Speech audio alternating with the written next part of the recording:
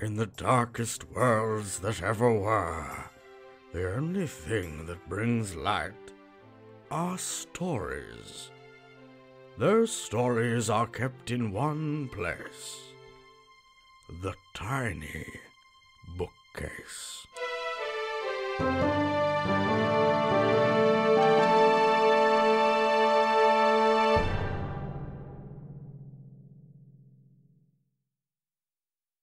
Hello, story seekers. I'm Nico. I'm Ben, and you're listening to The Tiny Bookcase. There were simply too many good stories to fit into just one roundup, so you're getting two. A tremendous amount of meat on the bone. Kicking us off for part two, we have the inimitable Kit Power, a horror writer who has the skills for short and long fiction. Kit wrote to the prompt, The Hardest Break. The hardest break. There are 206 bones in the human body. Over half of them are contained in your hands and feet. 27 each hand, 26 each foot. That's something to think about, isn't it? The entire skeleton, the frame for all that lovely meat we inhabit, and there, at the extremities, so many small bones, interlocked by cartilage and tendon and muscles, granting us balance, allowing motion, instrument manipulation. Oh, please don't struggle. The bonds are quite secure, I assure you. As I was saying, over half the bones in the hands and feet. Rather dismayingly easy to break when you look into it. A little too fragile, in my opinion. Rather one in the eye for intelligent design. Hands and feet. Not merely so useful, but so necessary, and yet well, you read of someone breaking a toe by simply stubbing it on a door frame, don't you? As for fingers, all it takes is a moderate hammer blow, and goodness, you are excitable, aren't you? How amusing. Why don't you take your own advice? You know, relax and give it your best shot. That's what you told me, wasn't it? So then, good for the goose and all that? Besides, nothing hard about a broken hand, is there? Such a fascinating question you ask, though. Such a clever question. No doubt it's designed to elicit certain personality responses. I imagine you've got a chart somewhere allowing you to plot someone based on their response. No, no please don't try and answer. Rather a futile gesture. I thought about it, you know. On my way home, I had time to think. One does when it's a 45 minute walk to one's house and one cannot afford the bus fare, let alone the cab. Lots of time to cogitate, to ruminate. Yes, all right, even fulminate. And I realized I didn't actually know the answer. So I looked it up. You're going to want to pay attention to this. You see, interestingly, it rather depends on what you mean by hardest. Example, the smallest bone in your body is the stapes. It's a tiny splinter that sits in your ear and, together with two other similarly small bones, is responsible for transmitting the vibrations of sound to your brain. Now, one of those could be snapped between two fingers, providing it was first removed. To fracture that bone in situ, though, that's actually surprisingly tricky. Perhaps a very loud noise might do it, or a gigantic concussive blow to the ear no? Oh, very well. I think I agree. Besides, how would we know for sure we'd succeeded? The hearing loss could as well be a burst eardrum. Moving on. There's the petrous part of the temporal bone. This bone is incredibly dense, designed, or rather evolved, of course, as you may have gathered from the name, to protect the temporal lobe of your brain and the ear canals, housing that rather delightful tiny stapes we discussed earlier. Even in skeletons that are dug up after thousands of years, it's not unusual to find the temporal bones entirely intact, even in otherwise damaged or desecrated remains. So I think we have a contender, yes? Of course, bone that dense, the blow would have to be colossal, and the chances of brain damage, even fatality, would be considerable. Still, something to think about, isn't it?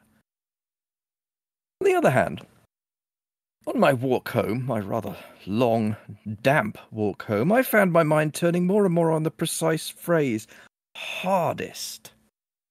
Hardest to achieve? Hardest to survive? Or perhaps hardest to endure. Yes, I thought that might pique your interest. You'll recall, of course, that was the spin I brought to the question, much to my detriment. And so, as I walked through the rain, as the drizzle became a downpour that ensured that my one remaining half decent suit was quite ruined by the time I made it back to my flat, I pondered that and added it to my research list. And here's what I found. Coming in at number four, the clavicle, known more colloquially as the collarbone, this bone here. Yes. Apparently, even a hairline fracture is very painful, and anything more serious can often require surgery. It's amazing how powerful and fragile we are, isn't it? Moving on at number three, we have ribs, beloved target of pulp crime and horror writers, and it, it's obvious when you think about it. Your ribs move with every single breath you take, so naturally, a broken rib is uniquely debilitating. Victims report a sensation of burning, stabbing pain every time they try and inhale. Our most natural, instinctive movement becomes a source of acute discomfort and misery. Nasty. And of course, should the injury be serious enough, there's the possibility of a splinter of bone piercing one of the many vital organs the cage exists to protect, at which point. Well, so. Number two, and this one surprised me, though it makes sense when you think about it, is the tailbone. I, I suspect the implications are clear enough that I can just let them sit with you. oh dear. Dear me, I am sorry. Un- unintentional, I assure you. And so we reach number one, and by happy coincidence, it's also the strongest bone in the body, the femur, or thigh bone.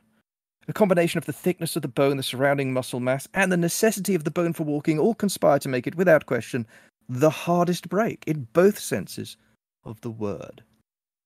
Remarkable, isn't it? Might almost make one believe in some kind of destiny. I think this sledgehammer may do the job.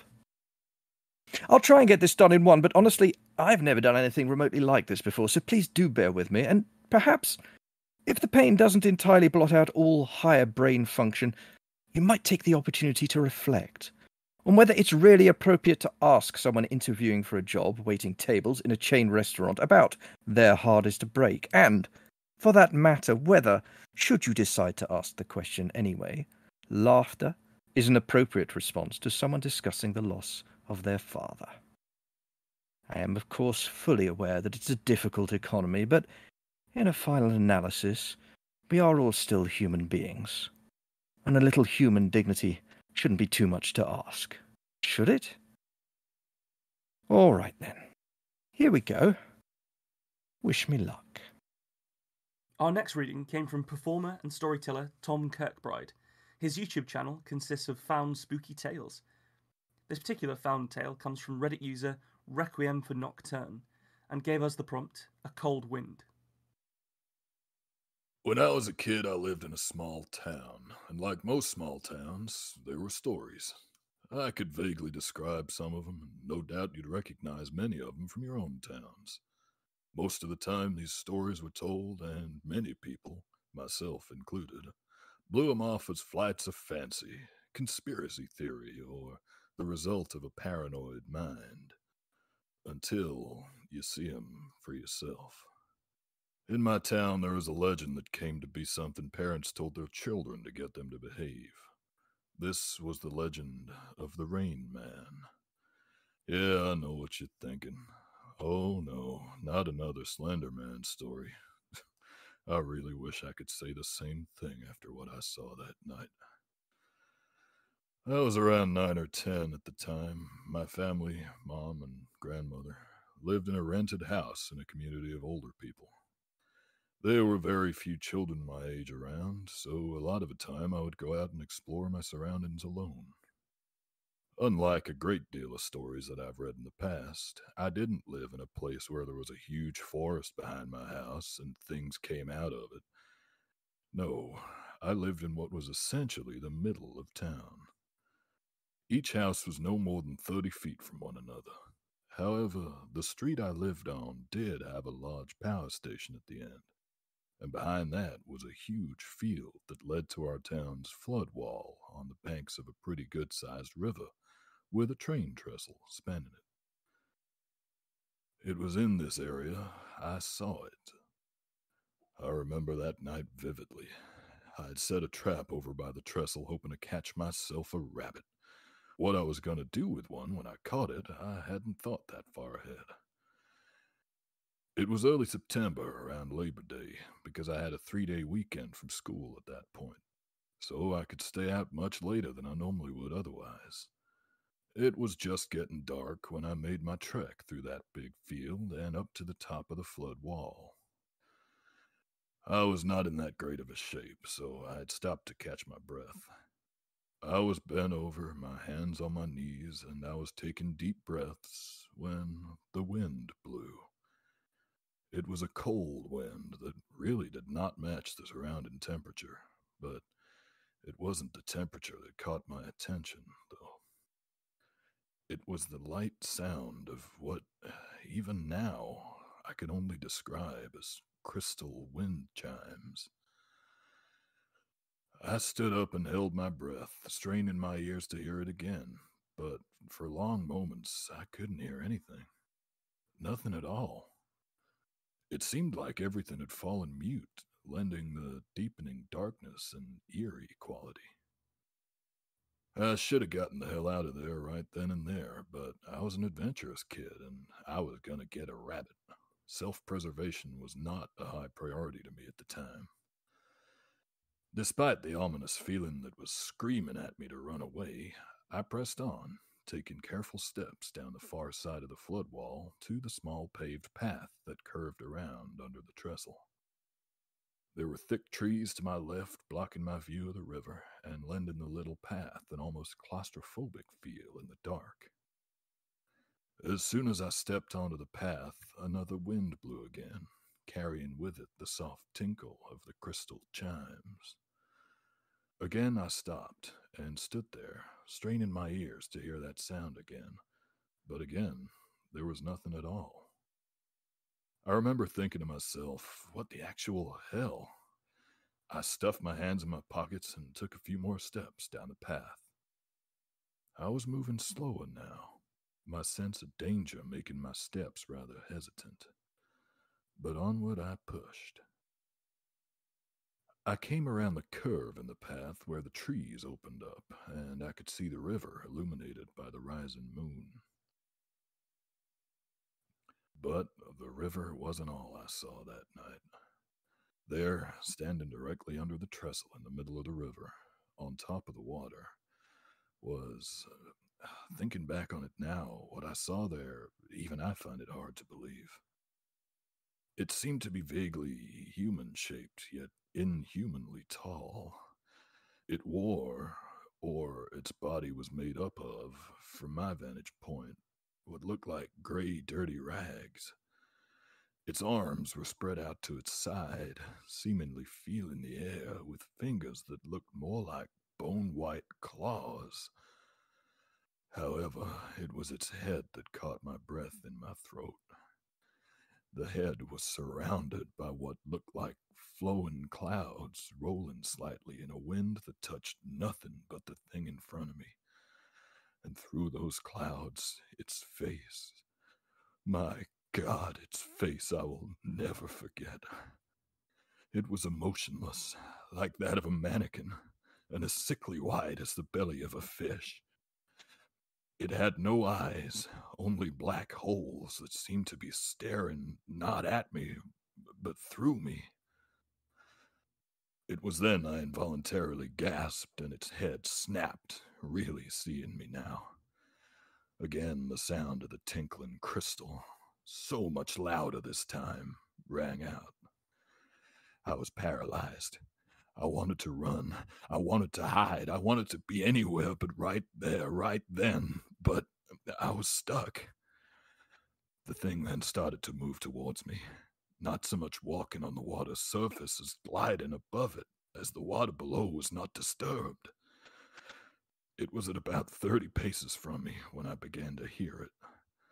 A childlike voice that seemed to be all around me, saying over and over again, Rain, rain, go away, come again another day. Its claw like hand reached out towards me once more. Rain, rain, go away, come again another day. As it reached in my direction, my paralyzation ceased, and I didn't waste any time. I turned and ran as hard as I have ever ran in my life, yet still the incantation, Rain, rain, go away, come again another day, Chase me up the path, over the flood wall, and into the field. I could feel that thing chasing me, whether it was or not. I don't know. I didn't dare look behind me. I just ran all the way home, slamming the door behind me. For a long time after that, years, I was afraid to leave my house alone, and I always slept with my lights on. Even now, 30 years since that day, my heart starts to pound, and I almost have a panic attack when I hear rain, rain, go away, come again another day.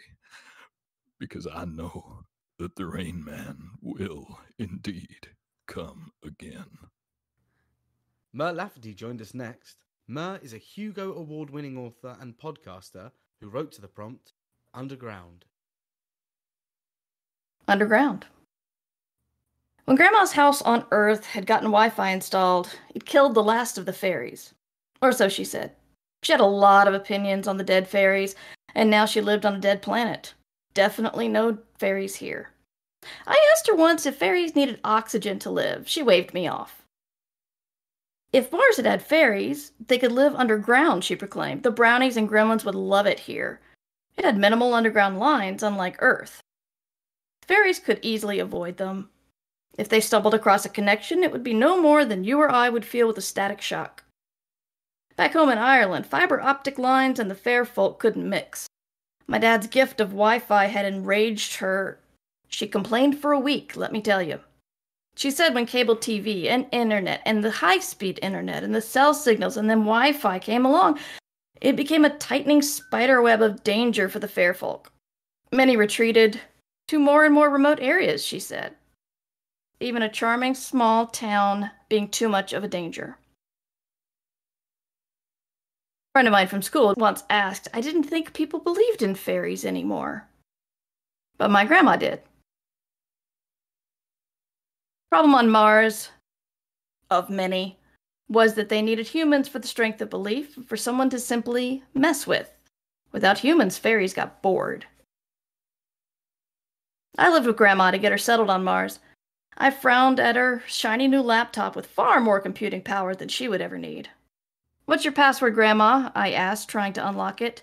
I'm not supposed to say, she shouted from the kitchen where she was watching a cooking show on the screen of her refrigerator, which had a constant stream of cooking shows from Earth. Grandma, you can tell me. We're related, I protested. Fine, it's my birthday. I rolled my eyes. Grandma, that's highly insecure. You mean you forgot my birthday? she yelled. It has to be something I remember. I'm too old for that memory implant your generation has, she said. I'll put down something you remember, I said. After I got our Wi Fi connected and hooked up the laptop, Connected her phone and all the other smart devices. I went to admin and changed her password. No fairies on Mars! Exclamation point. Goddamn bread didn't rise, Grandma shouted. What I would give for some fairies. How disappointing, her fridge soothed. Would you like a glass of milk? The small amount of tryptophan will have a calming effect. Mary, when will this thing learn how to offer me bourbon and not milk? she asked, coming into the room. And I thought these things were supposed to make humidity perfect for baking. Sometimes the error is in the user, Grandma, I said, and dodged the dish towel she threw at me. I got you all hooked up. Here's your password. Memorize it. Remember, anywhere there's a zero, there's an O, you should write a zero. When there's an A, you should use a four. Then you're just writing half a sentence that's easy to remember, but it's secure. That's a funny phrase, she said, looking at the words no fairies on Mars. Did you know my grandmother also believed in fairies? Of course I know that. The story was why I was living with her, not the whole reason. I wasn't a monster who was just sitting there using life support to care for Grandma. I was there to help with the terraforming too, and to help with her. But that meant I had to hear her stories. Of course I know that, she mocked. They kept me company when I was a child. They cared for me. I know, you've told me, I grumbled. I put the kettle on for tea. Then I went to her tiny linen closet. It was full of bolts of cloth, synthetics Grandma had invented, sending her among the first terraformers of Mars. Just some old cloth. I took a napkin with frayed edges. The next day at work, I went to the hydroponics and snipped a piece of synthetic linen and wove it among the roots of each plant. No one saw me. I'm not sure what they would have said if they had. That night, Grandma had said the fairies had killed the Wi Fi. The night after, the fridge began showing a television show from 1998. The night after that, we were on a generator. Grandma said nothing, just glared at me.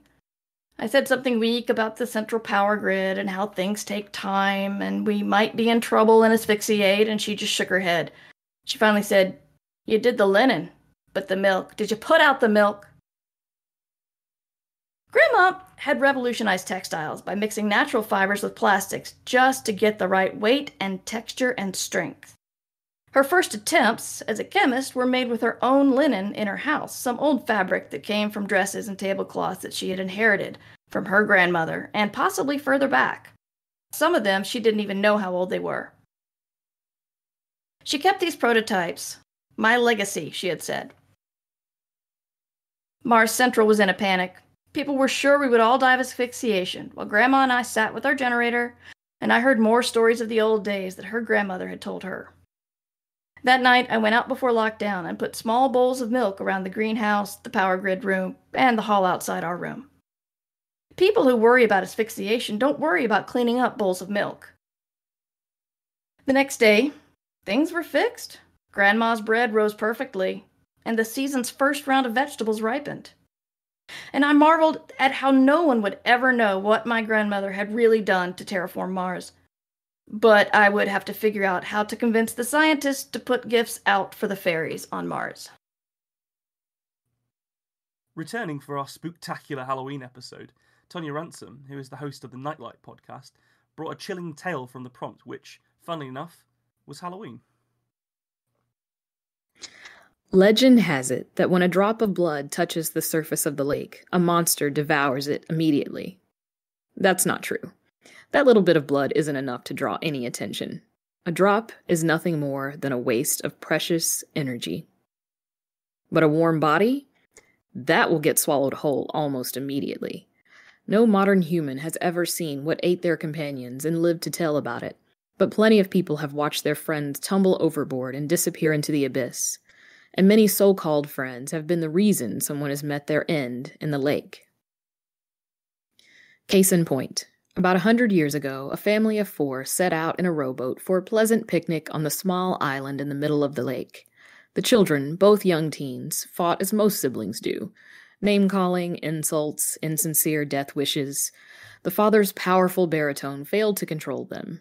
The mother's shrill screams did nothing more than act as a dinner bell the fight escalated until it became physical, the younger boy attempting to push his older sister into the water. But she was quick. She grabbed hold of his shirt, they both lost their balance, and then lost their lives. A desperately needed meal to the starving. You see, the people native to the area had been massacred by these picnicking colonizers a decade before.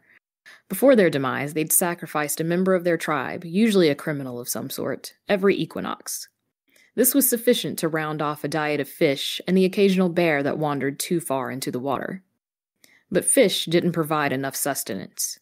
Before the sacrifices, fishermen regularly didn't return home. When the natives finally saw something curious and large in the water one day, they put two and two together and realized they could choose who they would lose to the lake. For centuries, all lived in harmony, a meal each equinox, as well as the occasional treat when a member of the tribe made a horrible enough transgression. Good fortune was bestowed upon the tribe.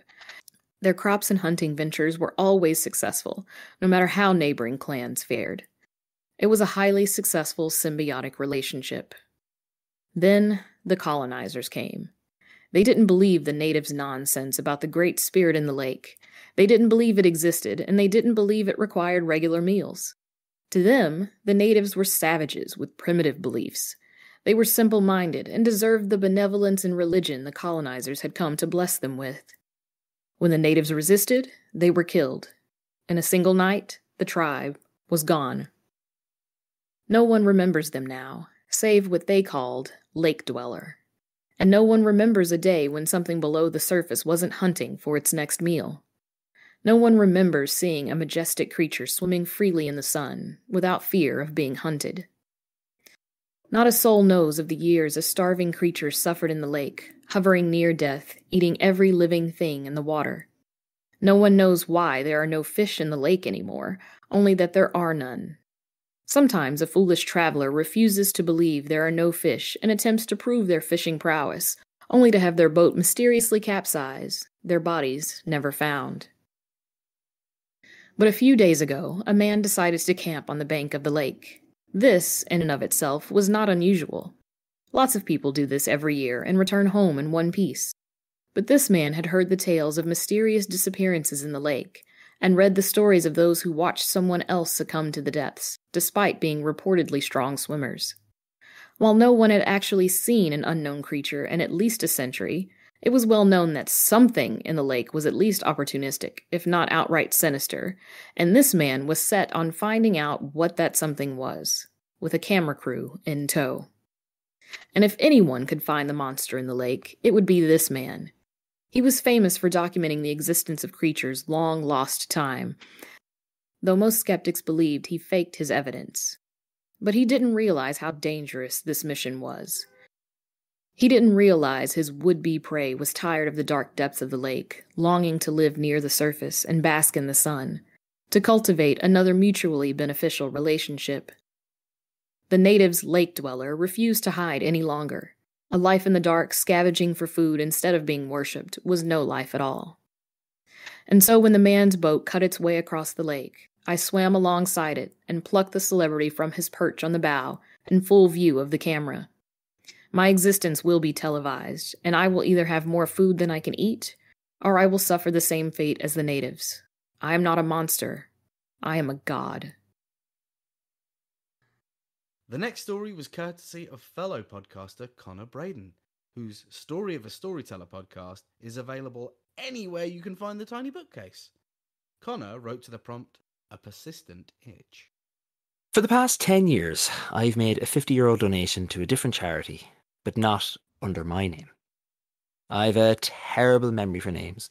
No, seriously, absolutely atrocious. I need to meet you at least seven times before I can remember your name. Now, you think I'm joking, but when I was in school, I often couldn't remember teachers' names until the seventh week of school at the most, where I'd have to steal a glance at their name on the classroom door. I recall a time when a teacher screamed at me for calling her Miss Room 13 because her door didn't have her name on it. Turns out she was a new teacher, and the secretary, whose name I didn't know because her door just said secretary's office, hadn't made this new teacher's door sign yet. When I tried to explain, the teacher rolled her eyes and just said, It's Miss Sweeney, you idiot. That's not a hard name to remember. She made me stand up and declare her name three times, one for each time she had taught me at this point in the school year. As I repeated her name the third time, the laughs and giggles from my classmates punctuated my stammering embarrassment. I didn't forget her after that. When I left school, I took up a job in my mother's tiny newsagent. My friends vanished to the horizons to different colleges, while I stayed behind to earn some money to eventually move and start a life somewhere. It turns out my difficulty with remembering people's names extended to the names of formulae and equations and much more. College was not for me. The shop was on the main street of the town. Although my memory for names was awful, my maths brain came to the fore here. Here, behind the counter, I was a pro. I'd been working at the shop since my folks bought it back when I was 12, and now, many years later, I was beyond comfortable with the high pitched beeping of the buttons I could play that till like Beethoven could a piano. The sun, easy. 090 papers mag subtotal. My fingers would fly. The sun, a 20 pack of Benson and Hedges, a chocolate bar, a bottle of water, and a pen. Piece of cake. 090 paper mags, 10206, 120 sweets, 170 drinks, 050 stat, subtotal 1450, please. Thanks very much. Have a good day. But then a new problem showed up. See, when I was in school, I usually just worked Saturdays, the busy day in the town. The crowds would surge and ebb, would rise and fall. Some, but very few, regulars would pop in. The most were people I didn't have to remember. The ones who were regular were usually picking up papers that they always collected, so we wrote their name on them and it was set aside. I knew their names easily. But now I was out of school. I was working during the week. During the week, I had to remember names. People would come in and chat me. Well, young fella, and giving the mother a day off, are you? And more. But then they got to know my name, but I never knew theirs. There was no door with a name in it, no papers set aside. No name tags, no IDs, no hints, no clues. The only help I ever got was in between shifts, when someone else would be coming in to relieve me, or I'd be coming in to relieve someone else, and a regular happened to be there. I kept customers separated in my head by something else. It might be their typical clothing. There was Lady Bluecoat and Mr. Plaid Hat, for example. Or it might be based on what they bought Horse and Cart Magman and Silk Cut Pepsi. The only help was just when someone else was coming in and helping. Ara, Peggy, how are you doing? Tom, how's everything? Oh, yeah, not a bad day, Betty, but it was lashing earlier. Then I'd write down the names. Lady Bluecoat was actually Peggy, Mr. Plaid Hat was Tom, and the true identity of Silk Pepsi was Betty. I liked that that one almost rhymed.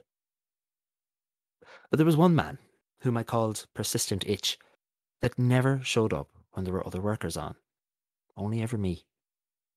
He was old. And I don't mean old in the way a 19 year old thinks anyone over 25 is old. I mean he was as wrinkled as a prune. He usually came in early in the afternoon on Wednesdays, before the cattle mart opened. He ambled in after the smell had already come in from him. Anyways, he was always dressed in a suit that was looked like it was last washed sometime around the fall of the Berlin Wall, and was constantly, and I mean constantly, scratching his head as he walked in. Joe, he'd utter, nodding at me. The first time he called me by my name, I was confused. I don't recall him being in here before. How did he know my name? It was a small independent shop. It's not like I had a uniform or a name tag, so how? Well, says I, how's the man? How, how's the man was one of my go to phrases when I couldn't remember customers' names. Ara. Persistent Itch removed his felt cap and shook the rain from it. He scratched his head and replaced the hat. I smiled. You know yourself. He shuffled across the shop floor, small as it was, and browsed the drinks fridge. He always seemed to be looking for something new to drink, but never bought anything other than Lucozade. Rarely he would take down a can or bottle of something. Even more rarely he'd walk across to the counter with it. But when it came to buying something, he'd tut, shake his head, and put it back, buying Lucozade instead. Today he stared lovingly at a bottle of Pepsi. It was a new design, but he reached for the Lucozade. I felt my shoulders droop a little. So how's tricks today, Joe? Uh, Grant, really, I said. With other customers, I'd start playing my piano there and then, masterfully typing up the prices and getting ready to announce the total. But with Itch, I didn't. I knew what he was really here for. The weather's brutal, isn't it? Oh, aye. The conversation threatened to go the usual route. Did you watch the football, or the hurling, or occasionally rugby? I remembered an old film I loved as a young fellow. Did you ever hear of it? Or even the occasional book recommendation? But today, on this odd and rainy day in June, it took a sudden turn. I saw on the news there that it's um, uh, ra- Rainbow Month. He gestured towards the tiny gay pride flag I had sticking up from the till. My mother, or my boss, as I should really think of her, whatever you wanted to call her, didn't know. She knew I was gay. I came out years earlier. But she didn't want me to have a window display for Pride, or wear a Pride themed t shirt or anything. So instead, I snuck in a tiny Pride flag and stuck it into the till, hoping for the best. Even if most of the regular customers came in didn't know or understand it, I knew and I hoped that someone who would know what it was would see it and feel a bit of comfort. Pride Month, I said. Yeah, that's right. I really didn't know which way this was going to go, so I just waited with bated breath. My defensive and polite side was ready, but so was the seething and bubbling rage that only an indignant, self righteous young person could summon. What you make of them, Joe? The rain continued. Hmm? The. He gestured again. Rainbow crowd. You mean the LGBT community? Yeah. Do I out myself? I think they deserve far more love and respect and admiration than they get. Okay, relax, Joe. That wasn't outing yourself, but it was definitely staking a claim. Grand, says Itch, and scratches behind his left ear. Aye. Grand. He slipped a fiver onto the counter and opened the Lucozade. Before I had my chance to give him the change, he was walking out the door into the rain. Uh, sorry, your your your change. Keep it. Give it to the rainbow crowd. From then on, Itch came less and less. I thought nothing of it at first. Maybe he was offended that I was, at least in his eyes, an ally. For the next year and a half, as I saved and saved so I could move somewhere a bit more youthful, a bit more free, Itch was just a little different. He smiled a bit more when it was just us, chatted a little more openly, and often released some extra change, telling me to give it to the rainbow crowd.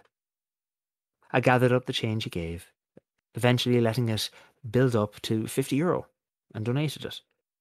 I wanted to donate it in his name, but ashamedly, I still didn't know it. So I decided to wait. I built it up some more, the money eagerly awaiting that I pluck up the courage to ask him his name. I was working late on a Saturday. It was November now, and the evenings were dark, really early. And one night, as I was readying the shop for closing at nine, Itch walked in. I could tell he was drunk. Very drunk. There was a pub right next door to the shop, so drunken old men stumbling into the shop wasn't a new occurrence. But Itch? On a Saturday? And drunk? This. This was new. Joe, uh, good man, you're closing up. I am indeed. You'd be wanting some company. Uh, no, thanks, I'm grand. She, she usually get on home. Ah, there's nothing there for me, he said. Just the TV and a cold bed. I froze. This wasn't the normal back and forth for us. That's it. Just a cold bed. No one there. Fifty years ago tonight. What is? My mind rolled through the dates I remembered from school. I had a good mind for dates, just just like with maths, really. He died. Who died? My uh, rainbow man. He leaned against the drinks fridge as I tried to process what he said. He loved Lucozade. He took his Lucozade from the fridge and sighed. I never really liked it. Who liked Lucozade? Patrick. The man I always wished would. Well, he died. Tractor accident. His father and mine were great, you know. He walked to the counter, and I thought I saw him wipe his eyes. Anyway, I often wondered what it'd be like if he hadn't got killed. He was a. a beautiful man. Itch threw the fifty onto a counter and walked away. Give the change to the rainbow crowd, I finished. Itch stood in the doorway. He was my best friend, you know. I never saw Itch again.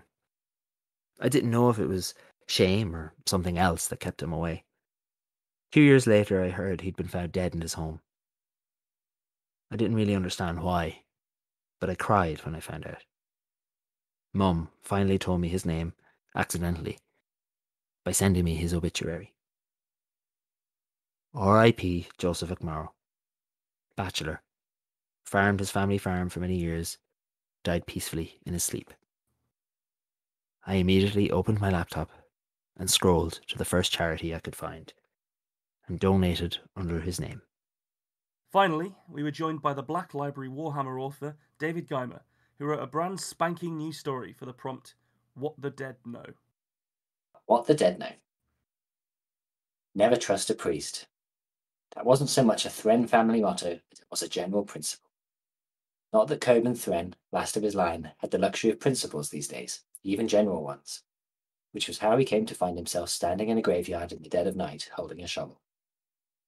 He wondered if this was bottom. He looked down, fidgeted his boots in the earth. No, still a little way to go yet. We should say a few words, or something, said Cedric. He was a young man, much as Coburn still thought of himself most of the time, until he spent a few evenings in a row with someone like Cedric. He had strong, useful looking hands, neatly scarred, almost as if by a ruler, with the marks of a rod. He had been kicked out of the seminary, that much everyone knew, though no one knew why. His bowl cut hair was overlong and unkempt, his face rough but otherwise forgettable, like something you'd see on the back of a hundred year old coin. Coupled with the black frock of the Minoran sect that never quite earned the right to wear, he was a bland, subtly threatening presence who could pass almost any door unremarked. Coburn hadn't quite made up his mind if being a failed priest made Cedric more trustworthy or less. Principles there, he'd have them.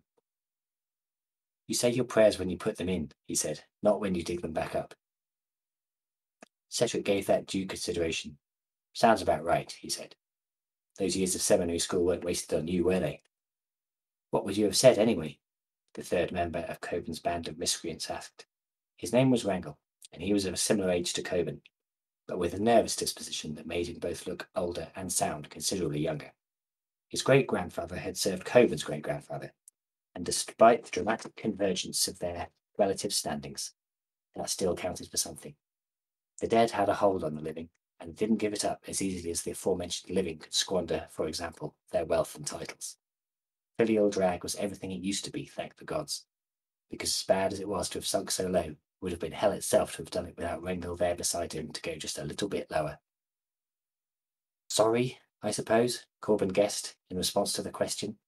I doubt she'll mind now, said Cedric. She? He, Coburn said. Cedric raised an eyebrow. The antiquarian mother told me it was a woman. Didn't she mention that to you? Coburn grimaced and looked away. He wondered how much more the other man knew about this than he did. If it was more than to be in this place at this time and to bring a shovel, then it was more. But then Coburn had cultivated the habit of never asking. It had been a defence of sorts. He'd been lied to too often, cheated too often. The fortunes of a family as old as his didn't just disappear overnight, not without a few white lies along the way to smooth their way out. But in the life he'd made for himself since, it had turned into something else, a calling card, an identity almost. He was Sir Coburn Dowsall Thren, and he asked no questions. Ignorance, he decided, was both the safest course and the most profitable state of man. With a sigh, he let the shovel bite into the thin crust of earth covering the grave, no deeper than the shovel's weight and his own action could push it in. There was no headstone there yet, just a wooden upright inscribed with the name and symbol of the god Minon, collector of all things lost. He shivered, but then it was the middle of the night. Nothing ominous to read into that. I heard she was a witch, Wrangle hissed. Shit, Coburn breathed and pulled out the shovel. If there's one thing you should never say in a graveyard. Sorry, I, I just heard. If she was a witch, then she wouldn't have been buried, would she? said Cedric, all reason. She'd have been bound in silver and dumped in the sea at midnight. He signed himself anyway, because even priests didn't trust priests. They knew better. Coburn hated to admit it now, but not knowing what they were expecting to pull out of this grave was starting to get to him. Most likely, the antiquarian mother just needed a fresh body. It was the sort of thing everyone knew went on, but which the Minoran sect had to be seen to frown on. All that knowledge, all those secrets, taken by the dead to their graves to add to the clutter on Minon's never ending shelves. It was sacrilege to go looking there, everyone knew, but that was how the cult held its power. They knew what no one else did, what no one else could. They knew what everyone who mattered was trying to hide. Of course, it was also just as likely that the antiquarian mother had just marked a fine ring on the corpse's finger during the burial. Priests were still just people, after all. Get on with it, Cedric muttered, vapour coiling around his frilled collar. I don't want to be seen hanging around a graveyard at night. You think I do, said Coburn. I still have a few friends left, you know, and a shred of reputation in this town. Dig then, said Cedric. Coburn held the shovel out to him. You dig. Cedric raised his hands. I've taken strict vows never to disturb Minon's collection.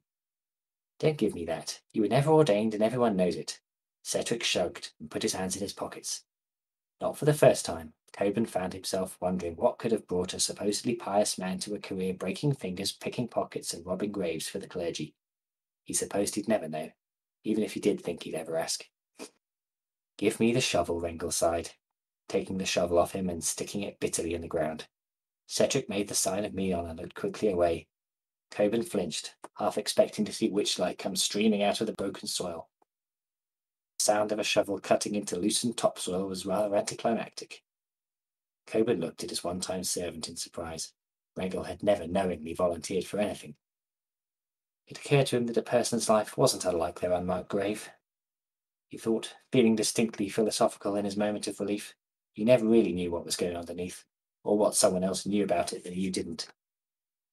With a frown, Coburn snatched the shovel back. It was a general principle of his never trust a priest. He'd do it himself. Crikey, what a bunch of talented individuals they all are. We were absolutely spoiled by all the people who came on this season. Definitely. And with that, it is time to look towards the exciting prospect of season four. Four will be starting next week, and we're overjoyed to be so far from shore in the deep waters of podcasting and story writing. As always, make sure you're subscribed to the bookcase on your chosen podcast listening app or service. See you in season four. See you there. Thanks for joining us for this episode of The Tiny Bookcase. Remember to subscribe, otherwise, you're going to miss out on the future fun. Also, tell a friend. If you like this episode, link them to it. We'd be tremendously grateful. You can follow us on Twitter at Bookcase Tiny, Facebook at The Tiny Bookcase, and Instagram at Bookcase Tiny for updates. Speaking of supporting the podcast, well, magic can only take one so far. The Tiny Bookcase is supported by the generosity of its patrons. Those kind souls have really kept my belly full the last year. Let's cast a spell for them, shall we? For magnificent beardery, let's cast the Chinicus folliculale spell on Gary Laird. For rich ginger tones on the scalp, let us cast the Orangi Hedondo spell for Scott Byrne. And for general fabulousness, why not the Ooh La La How's Your Mother spell on Matthew McLaren?